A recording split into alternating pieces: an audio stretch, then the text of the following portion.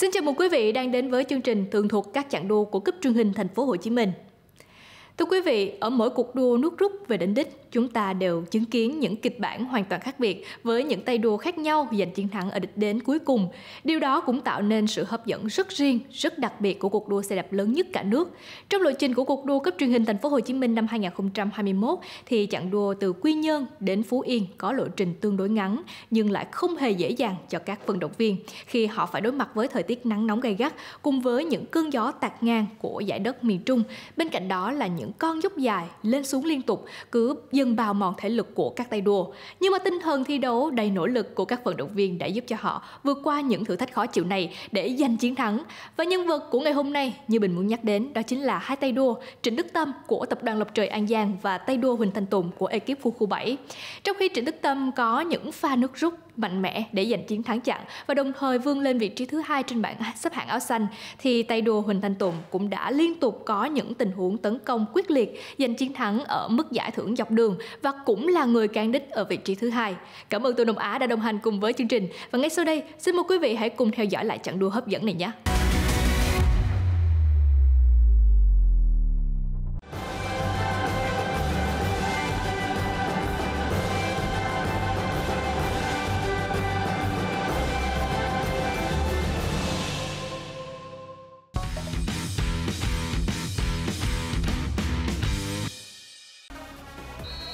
Và lúc này thì ông Tạ Xuân Chánh, Giám đốc Sở Văn hóa và Thể thao tỉnh Bình Định đã phất cờ cho các đội đua xuất phát thi đấu chặng thứ 16 từ thành phố Quy Nhơn của tỉnh Bình Định và thành phố Tuy Hòa của tỉnh Phú Yên. Sau khi xuất phát tại thành phố Quy Nhơn thì các vận động viên sẽ được trọng tài dẫn đi một ờ, quãng đường với tốc độ giới hạn. Rồi sau đó thì họ sẽ được trọng tài phất cờ để xuất phát chính thức. Lúc này thì ở trên bảng tổng sắp cá nhân, tay đua đang tạm giữ chiếc áo vàng là tay đua Luis de Chirac của ekip Firefly Đồng Nai. Luis de Chirac đang có khoảng cách là 34 giây so với người đang xếp ở ngay phía sau lưng mình là tay đua Javier Sarda Perez của ekip thành phố Hồ Chí Minh, Vinama. Còn đối với ờ, bảng xếp hạng áo xanh, thì lúc này tay đua đang dẫn đầu đó là tay đua ờ, Nguyễn Tấn Hoài của ekip Dược Đô Mexico Đồng Tháp. Nguyễn Tấn Hoài đang có được cho mình 105 điểm áo xanh và nhiều hơn đến à, 19 điểm so với người xếp ở vị trí thứ hai là tay đua Lê Nguyệt Minh của ekip Thành phố Hồ Chí Minh New Group. Tay đua đang mặc áo trắng ở trên hình là tay đua Lê Hải Đăng của ekip Dược Đô Đồng Tháp. Và lúc này thì à, cuộc cạnh tranh cho danh hiệu áo trắng cũng đang diễn ra rất quyết liệt và hấp dẫn khi tay đua xếp ở phía sau lưng của Lê Hải Đăng là tay đua Tăng Quý Trọng của ekip tập đoàn Lộc Trời An Giang đang có thành tích kém Lê Hải Đăng là 56 giây. Còn người đang mặc chiếc áo chấm đỏ dành cho vua leo núi là tay đua Nguyễn Phạm Quốc Khang của ekip Firefly Đồng Nai. Tay đua đã giành được chiến thắng ở trên mức đỉnh đèo Hải Vân. Và lúc này thì chúng ta cũng thấy trọng tài đã phất cờ cho các tay đua xuất phát chính thức chặng đua thứ 16 từ Quy Nhơn về Tuy Hòa. Và ngay lập tức thì chúng ta lại được thấy một cuộc tấn công đã được diễn ra với một tay đua của ekip thành phố Hồ Minh New Group và ngay sau lưng anh là một tay đua của ekip quân khu 7 tay đua của thành phố Hồ Chí Minh New Cup có lẽ là tay đua mang số đeo 17 Nguyễn Trúc Sinh và sau lưng anh có lẽ là tay đua Huỳnh Thanh Tùng của ekip quân của 7 Lúc này thì chúng ta đang được theo dõi những hình ảnh của nhóm các tay đua đi đầu. Có tay đua Huỳnh Thanh Tùng của ekip quân khu 7 và Nguyễn Trúc Sinh của thành phố Hồ Chí Minh New Group. Tay đua Huỳnh Thanh Tùng là người cũng đã từng một lần giành được chiến thắng chặng đua này vào năm 2016 cũng từ Quy Nhơn về với Tuy Hòa và chứng kiến những chiến thắng vừa qua của các đàn em như Nguyễn Văn Nhã hay Võ Minh Gia Bảo, thì người thủ quân của ekip quân khu 7 chắc chắn cũng đang lên tinh thần rất cao. Trong nhóm 4 tay đua đi đầu này, thì bên cạnh Huỳnh Thanh Tùng của quân khu 7 và Nguyễn Trúc Sinh của thành phố Hồ Chí Minh New Group, còn có tay đua số đeo 117 Đỗ Ngọc Hải của ekip Hà Nội và 141 Phan Tuấn Vũ của thành phố Cần Thơ. Như vậy là chúng ta cũng thấy rằng trong số 4 tay đua này thì có hai tay đua đã từng giành được chiến thắng một chặng đua cấp truyền hình thành phố Hồ Chí Minh năm nay và một tay đua cũng có khả năng thực hiện những cuộc tấn công bứt phá rất đáng kể. Sự bước đi của bốn tay đua này cho thấy họ hoàn toàn có đủ năng lực và khả năng để có thể tạo ra những uy hiếp đối với đoàn đồng ở phía sau. Sau 15 chặng đua, Cục diện ở trên các bảng tổng sắp sau trận đua ngày hôm qua cũng đã có một số xáo trộn nhất định. Nhất là ở bảng điểm áo xanh, mặc dù Nguyễn Tấn Hoài vẫn đang dẫn đầu với điểm số là 105 điểm, tạo ra được một khoảng cách tương đối an toàn là 19 điểm so với Lê Nguyệt Minh ở vị trí thứ hai. Tuy nhiên đã có một sự thay đổi ở vị trí thứ ba khi mà tay đua của tập đoàn Lộc Trời An Giang là Trịnh Đức Tâm đã vươn lên chiếm vị trí thứ ba của tay đua Trần Tuấn Kiệt của Dobagan Đồng Tháp theo thông tin từ bộ phận trọng tài thì top 4 vận động viên đầu lúc này đã tạo được khoảng cách khoảng 25 giây so với các tay đua ở phía sau. Lúc này thì chúng ta thấy bốn tay đua đi đầu vẫn đang rất đồng lòng và hợp sức kéo với nhau để duy trì tốc độ ở nhóm này luôn ở mức khá cao. Thưa quý vị, lúc này Thế Mận đang có mặt ở cột mốc km 22 là ranh giới giữa hai tỉnh Bình Định và Phú Yên. Và chúng ta cũng thấy là cung đường đến đây thì lên dốc xuống dốc liên tục và rất phù hợp cho những pha tấn công. Và lúc này thì nhóm 1 với 4 tay đua đang xuất hiện trên hình của chúng ta gồm có Huỳnh Thanh Tùng, Nguyễn Trúc Sinh, Phan Tuấn Vũ và Đỗ Ngọc Hải. Trong đó thì Nguyễn Trúc Sinh và Phan Tuấn Vũ là những tay đua đã từng có chiến thắng chặn. Huỳnh Thanh Tùng đã về nhì ở chặng 15 và chỉ có Đỗ Ngọc Hải là tay đua vẫn chưa có thành tích nổi bật nào. Và lúc này thì bốn tay đua của nhóm 1 đã vượt qua ranh giới giữa Bình Định và Phú Yên như vậy là khoảng cách giữa top 1 bốn vận động viên với đoàn đông ở phía sau. Theo trọng tài thông báo, bây giờ đã được kéo giãn thành 1 phút và 40 giây. Những nỗ lực để tăng tốc tấn công của bốn tay đua ở trong nhóm đi đầu với Nguyễn Trúc Sinh, Phan Tuấn Vũ,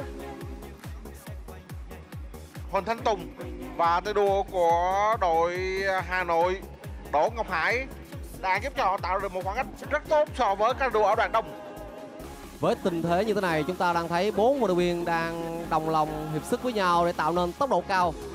Mà ở trong nhóm phía sau, các vận động viên đang rè lại. Thì diễn biến ở hai nhóm này, thời gian sẽ được nới rộng ra. Điều đó sẽ có lợi cho vận động viên Nguyễn Túc Sinh và áp lực sẽ đè nặng lên huấn luyện viên Đặng Ngọc Tú. Đây là những hình ảnh của top các vận động viên ở phía sau. Trong đó có tay đua đang mặc áo vàng Louis Desriac và đang thi đấu rất sát với anh lúc này là Phan Hoàng Thái của Dược Mexico Đồng Tháp, Lê Ngọc Sơn của tập đoàn Lộc Trạng Giang và cả Javier Sakda Perez. Đối thủ chính trong cuộc cạnh tranh chiếc áo vàng đối với Loic Desrac. Lúc này thì các tay đua đang thi đấu qua khu vực địa phận của cầu Bình Phú tại thị xã Sông Cầu. Như vậy là họ cũng đã thi đấu được khoảng 30 km Trước mắt họ sẽ là một đoạn đường khoảng 5 đến 7 km nữa và thi đấu vào khu vực đèo nại. Như vậy là khoảng cách của bốn vận động viên đi đầu này so với đồng đông ở phía sau là là nới rộng ra 2 phút 20 giây. Như việc đã nói, khi chúng ta quan sát với những nguồn quay của các viên nhóm đông ở phía sau, thì tầm khoảng hơn 35 km giờ, còn ở trong nhóm đầu thì bốn vận động viên đã hiệp lực với nhau, tạo nên tốc độ cao hơn ở nhóm đầu đông phía sau vì thế khoảng cách sẽ được nới rộng ra có vẻ như đội Yên Ngô Đồng Nai, Ba Lai Đồng Nai họ sẽ cho bốn vận động viên này cán ở điểm xuyên đầu tiên thì sau đó họ mới tính toán để đưa ở đoàn đông này bắt kịp với nhóm đi đầu. Và lúc này thì các vận động viên ở trong top một đang chuẩn bị tiến vào khu vực đèo này. Đèo này không phải là một ngọn đèo có tính điểm áo đỏ trong lộ trình của cúp thành phố Hồ Chí Minh. Nó chỉ dài khoảng uh, gần 2 km thôi Tuy nhiên à, với những đoạn dốc lên xuống ở trong à, khu vực đèo nại này, thì đây cũng là một thách thức thực sự đối với các vận động viên ở trong top 1 và nếu như họ duy trì được khả năng à, đi đèo tốt, thì vẫn có thể tạo ra thêm khoảng cách so với đoàn đông ở phía sau. Cũng giống như chặng đua từ thành phố Đà Nẵng về thành phố Tam Kỳ, tỉnh Quảng Nam. Chặng đua ngày hôm nay với lộ trình thi đấu 94 km các tay đua không được nhận tiếp tế trong suốt lộ trình thi đấu. Chính vì vậy mà họ sẽ phải có sự chuẩn bị rất kỹ lưỡng về những chai nước, những thực phẩm bổ sung ở trên đường để có thể duy trì được nền tảng thể lực tốt nhất.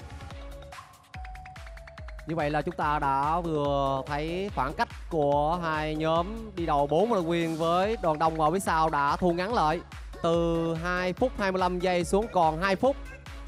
Chúng ta đang thấy thì đội Ngô Đồng Nai cũng như là Ba Lai Đồng Nai đã kiểm soát tốt tốc độ phía sau và phải nói là cầm nhịp độ và canh tầm với top đi đầu là rất tốt đến thời điểm này. Khi các tay đua thi đấu vào khu vực địa phận của các tỉnh thuộc miền duyên hải, Nam Trung Bộ, với những cung đường ven biển thì họ sẽ bên cạnh việc chịu sức nóng của nhiệt độ và thời tiết thì còn sẽ phải chịu ảnh hưởng rất lớn đến từ những cơn gió tạt ngang.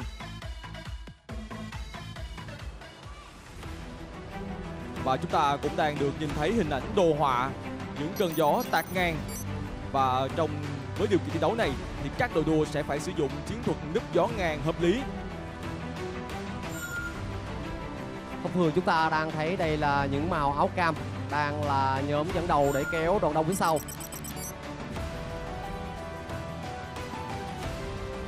Những tay đua ở đầu máy kéo sẽ luôn là những người phải chịu sức gió lớn nhất Tuy nhiên, với những cơn gió ngang thì họ sẽ thi đấu theo một đường xéo, chứ không đi thẳng.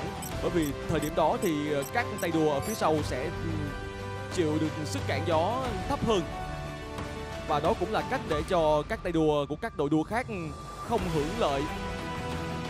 Dẫn chứng như là đội Ba Lai Đồng Nai có hơn 14 vận động viên, thì họ sẽ canh tầm khoảng 14 vận động viên gần sát vào lề thì khi chúng ta đang thấy từ phía bên tay phải gió tạt vào, thì tầm khoảng người đứng đầu phải nằm gần hơn nửa con lương và sau đó là người cuối cùng đi phía sau là sát lề. Đó sẽ là tạo những cái điều khó khăn cho các cầu điên đeo ở phía sau là sát vào lề chỉ một đến hai người mà thôi. Còn những đoàn đông ở phía sau thì họ phải gần như là núp gió ra tới ngoài lề. Lúc này thì các tay đua đã thi đấu được khoảng 43 km họ đang tiến vào địa phận thị xã sông cầu và ờ, phía trước họ chỉ còn khoảng 2 km nữa thôi sẽ là con dốc găng Thưa quý vị, lúc này Thế Mẫn đang có mặt ở dốc găng thuộc thị xã Sông Cầu và cách thành phố Tuy Hòa là khoảng 47 km. Dốc găng này có hai điểm đặc biệt ở chặng đua thứ 16 này. Đầu tiên là khi mà chúng ta đứng ở dốc găng thì có thể nhìn thấy toàn bộ Vịnh Xuân Đài và đây là một trong những danh thắng đẹp nhất của tỉnh Phú Yên. Và điểm thứ hai đó là sau khi leo dốc 600m thì các tay đua sẽ đổ dốc là khoảng 1 km đó là một cơ hội rất tốt để cho tổ chức những đợt tấn công hoặc là tăng tốc để về đích ở thành phố Tuy Hòa. Và bây giờ thì Thế Mận đã thấy là Huỳnh Thanh Tùng và nhóm những tay đua đang đi đầu đã xuất hiện trong tầm mắt. Các tay đua đang thực hiện leo dốc khoảng 600 m. Như vậy lúc này thì top đi đầu chỉ còn 3 tay đua gồm có Huỳnh Thanh Tùng, Nguyễn Trúc Sinh và Phan Tuấn Vũ của Cần Thơ. Các vận viên ở trong top 1 lên đến đỉnh của dốc găng và bây giờ thì họ đang thả xuôi dốc xuống Lúc này thì xin nhắc lại là top 1 chỉ còn lại 3 vận động viên là Huỳnh Thanh Tùng của quân khu 7, Phan Tuấn Vũ của thành phố Cần Thơ và Nguyễn Trúc Sinh của thành phố Hồ Chí Minh New Group. Chúng ta cũng thấy đúng với tên gọi dốc găng. Theo tiếng địa phương găng có nghĩa là khó khăn. Thì à, đoạn dốc leo lên 600m là leo lên một đường thẳng đứng rất dài và đổ xuống khoảng à, 800m đến gần à, 1 km cũng là một đoạn dốc thẳng rất dài không hề có cùa không hề ngoặt qua, ngoặt lại. Nhưng thực sự là một thử thách vô cùng khó khăn đối với các vận động viên. Trong khi đó, từ góc quay flycam này chúng ta đang được thấy các vận động viên ở trên đoàn đông cũng đang leo lên đỉnh của dốc găng. Và đã có những tình huống tấn công ở trên đỉnh của dốc găng rồi.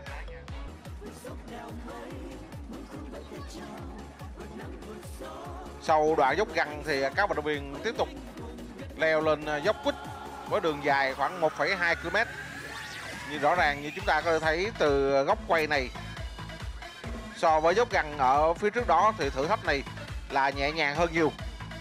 Theo thông tin từ trọng tài thì à, khoảng cách giữa nhóm Patero đi đầu với đoàn đông ở phía sau lúc này chỉ còn lại hơn một phút thôi. Còn 3 km nữa là các vận động viên ở trong top 1 này sẽ đến à, mức sprint ở trong chặng đua ngày hôm nay.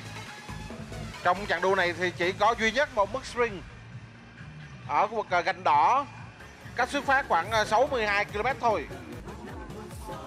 Như vậy là trọng tài đã vừa thông báo cho ba vận viên ở trong top 1 này biết khoảng cách giữa họ với đoàn đông phía sau chỉ còn lại có 20 giây thôi và thưa quý vị, lúc này ngay tại giải thưởng dọc đường thì chúng tôi đã nhận thấy là đã có các tay đua đang tiến rất gần đến à, mức giải thưởng dọc đường duy nhất này và chúng tôi đang thấy có hai tay đua đang nhấn bàn đạp rất nhanh để có thể giành được giải thưởng dọc đường của chặng đua ngày hôm nay. Nhưng ngay phía sau là top đông rồi. Liệu rằng là ngay sau giải thưởng dọc đường này thì top đông có bắt kịp với lại top 1 gồm ba tay đua hay không chúng tôi nhận thấy là ba tay đua đang tăng tốc đó là một chiếc áo màu xanh của Nguyễn Trúc Sinh và một chiếc áo màu đỏ. Huỳnh Thanh Tùng đang có lợi thế. Huỳnh Thanh Tùng hay là Nguyễn Phan Tuấn Vũ? Như vậy là Huỳnh Thanh Tùng đã là người về mức giải thưởng sprint đầu tiên. Lúc này top 2 đang tiến về mức giải thưởng dọc đường. Với một tốc độ theo chúng tôi quan sát thấy bằng mắt thường là khá ổn định. Nhưng đi đầu ở top 2 đó là Trần Thanh Nhanh và cùng với là một số tay đua khác.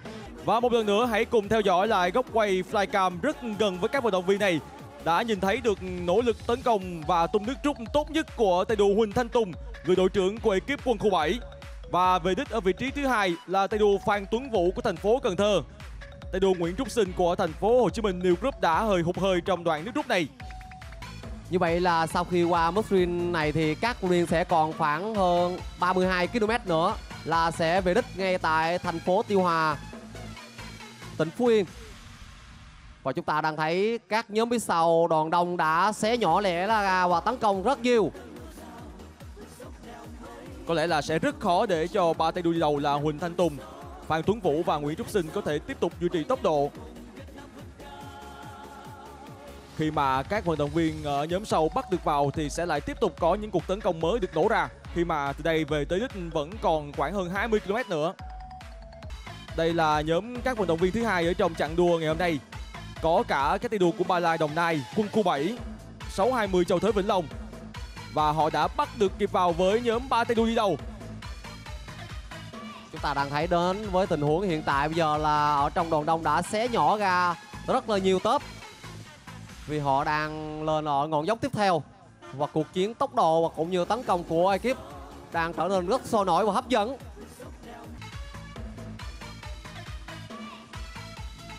Vừa rồi thì các tay đua đã rẽ trái đi vào đường tránh và lúc này thì họ chỉ còn cách thành phố Tuy Hòa 30 km nữa mà thôi.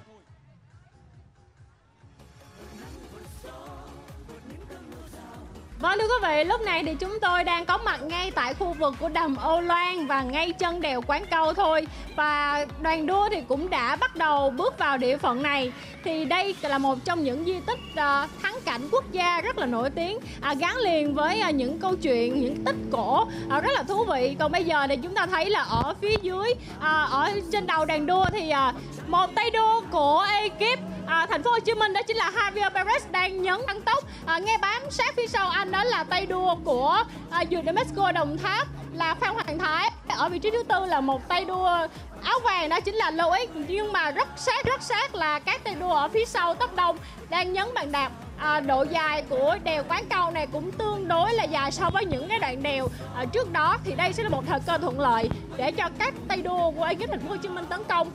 Lúc này thì các tay đua chỉ còn cách đích đến tại thành phố Tuy Hòa, tỉnh Phú Yên 10 km nữa mà thôi. Và xe truyền hình của chúng tôi cũng đã tiếp cận được với nhóm các vận động viên đi đầu. Chúng ta đang thấy vận động viên Trình Đức Tâm đang ra dấu hiệu chỉ đạo cho các vận động viên cũng như là các đối thủ luôn tạo nên tốc độ cao để nhằm nới rộng xa với ở trong nhóm phía sau. Đúng là ekip tập đoàn Lộc Trại An Giang đang là ekip lợi quân nhất ở trong nhóm này khi có đến 3 tay đua các vận động viên vẫn đang duy trì tốc độ ở mức khoảng 4 14 45 km một giờ và đang do các tay đua của tập đoàn Lộc Trời An Giang làm máy kéo. Đã có hai ba vận viên bị ngã sau khi vượt qua đoạn ờ, đường sắt. Như vậy là chỉ còn khoảng trên 5 km nữa thôi, các tay đua sẽ về tới đích đến tại thành phố Tuy Hòa và lúc này thì chúng ta đang được chứng kiến những diễn biến cực kỳ hấp dẫn. Tay đua duy nhất của thành phố Hồ Chí Minh Vinama có mặt ở trong nhóm đầu này là chính là tay đua đang đứng ở vị trí thứ ba trên bảng tổng sắp cá nhân là tay đua Nguyễn Tuấn Vũ của thành phố Hồ Chí Minh Vinama. Người đang có khoảng cách 37 giây so với Luis Desirac. Và chúng ta đang thấy đội tập đoàn Lộc Trời Giang luôn liên tiếp làm tốc độ rất cao ở trong nhóm đầu này. Và nếu như trong số này các tay đua được về đích thì tay đua Trịnh Đức Tâm của tập đoàn Lộc Tràng Giang cũng sẽ là một trong những ứng viên cạnh tranh nước rút ở đích đến cùng với Huỳnh Thanh Tùng. Và Trịnh Đức Tâm như tâm ta cũng biết là đã vươn lên vị trí thứ ba trên bảng tổng sắp điểm áo xanh và khoảng cách giữa anh với Lê Nguyệt Bình ở vị trí thứ hai lúc này cũng đã được thu ngắn đáng kể. Như vậy là các tay đua chỉ còn 500 m nữa sẽ về tới đích tại thành phố Tuy Hòa.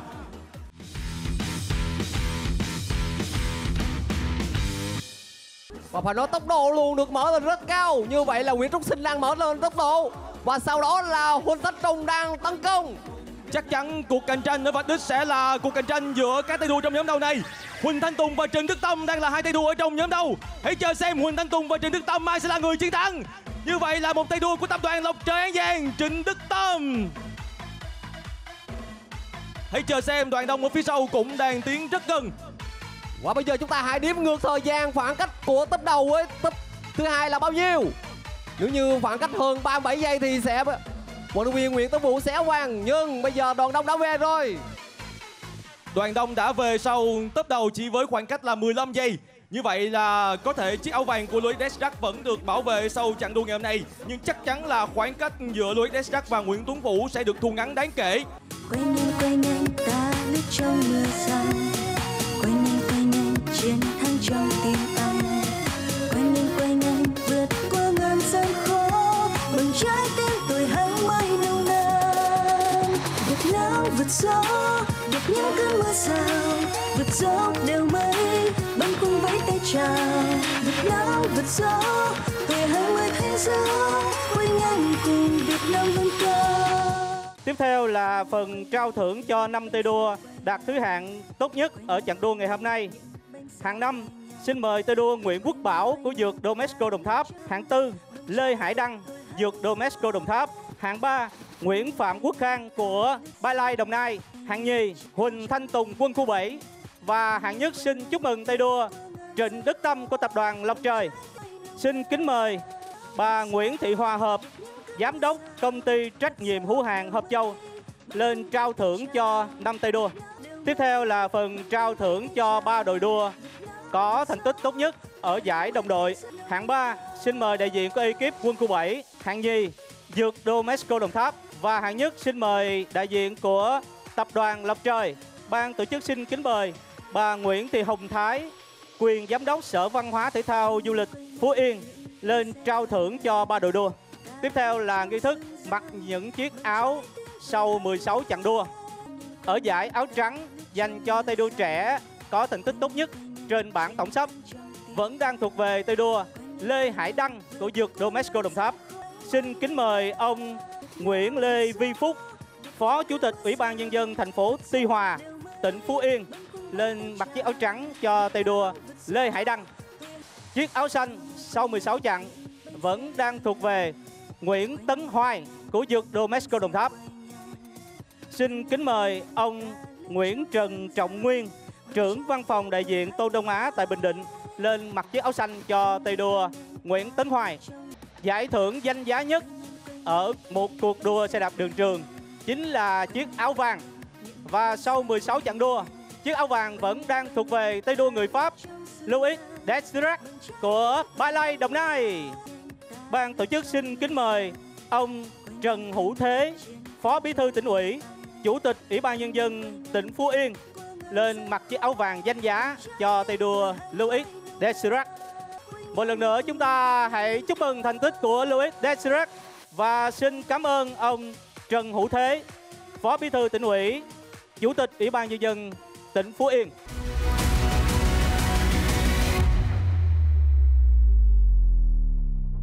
Chiến thắng ở một chặng đua ngắn nhưng đầy khó khăn như thế này thì chính là phần thưởng xứng đáng cho nỗ lực của Trịnh Đức Tâm và các đồng đội của mình. Và đến đây thì chương trình tường thuật các chặng đua của cúp truyền hình Thành phố Hồ Chí Minh sẽ được phép khép lại. Hẹn gặp lại quý vị khán giả trong chương trình ngày mai với một nhân vật khác rất đặc biệt. Cảm ơn Tô Đông Á đã đồng hành cùng với chương trình. Xin kính chào tạm biệt và hẹn gặp lại.